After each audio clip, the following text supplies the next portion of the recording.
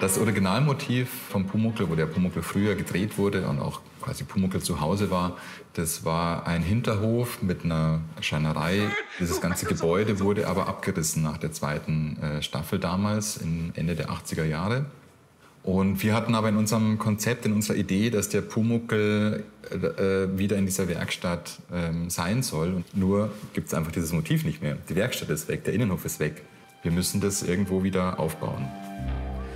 Und da haben wir lange dann gesucht. Dann haben wir glücklicherweise am Stadtrand von München eine alte Industriehalle gefunden hatten dann wirklich ein ganz tolles Szenenbildteam, die da mit ganz viel Liebe zum Detail sich eingegraben haben in die alten Pläne, wirklich die maßstabsgetreu das wieder aufgebaut haben.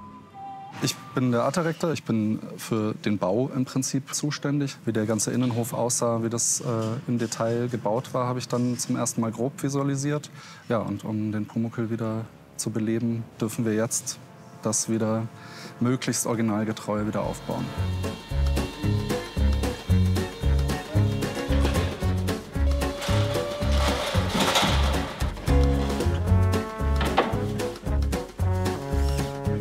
Es ist äh, grundsätzlich so, dass wir erstmal mit Holz bauen ähm, für die grobe Struktur. Das sind Spanplatten, die auf einem Holzgerüst aufgeschraubt werden.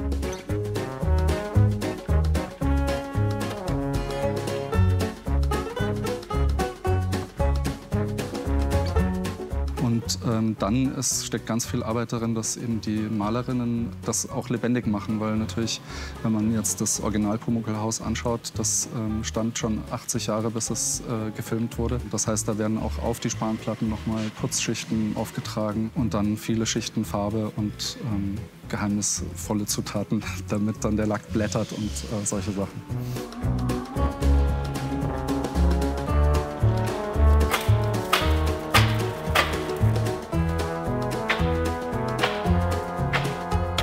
Alles ganz neu gemacht und ganz frisch und ganz gerade Kanten.